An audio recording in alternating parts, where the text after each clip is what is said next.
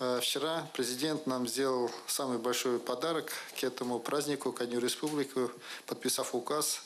и включив город Чебоксары в число э, городов, э, названных городом трудовой доблести.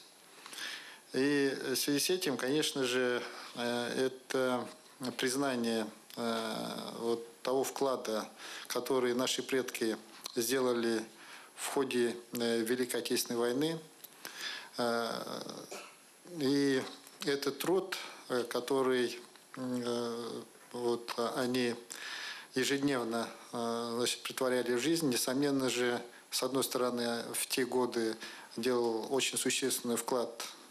для того, чтобы приблизить День Победы, который мы с вами недавно отпраздновали. Но, с другой стороны, конечно же, не остался незамеченным и со стороны руководящих органов партии того времени, э, руководящих органов государства. Город и вся республика, э, как один единый организм, трудились э, на благо не только фронта, на благо отчизны, для того, чтобы отчизна была защищена, враг, чтобы был побежден. Ну и каждый на своем месте, естественно, отдавал всего себя невзирая на те сложности, трудности, которые имелись в те времена. А эти сложности, трудности касались совершенно различных жизненных аспектов, начиная э, от таких, э, скажем так,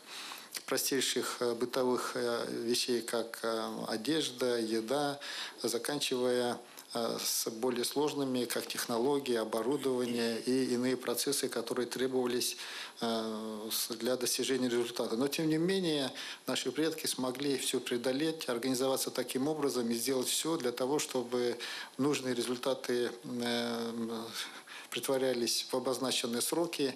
и тем самым, на мой взгляд, передали нам такой очень хороший пример, заложили замечательные традиции, действовать вместе, сообща, планировать э, свои действия, обозначать грандиозные цели, а самое главное их достигать, а достигая их уже вдохновиться и ставить новые, более амбициозные цели.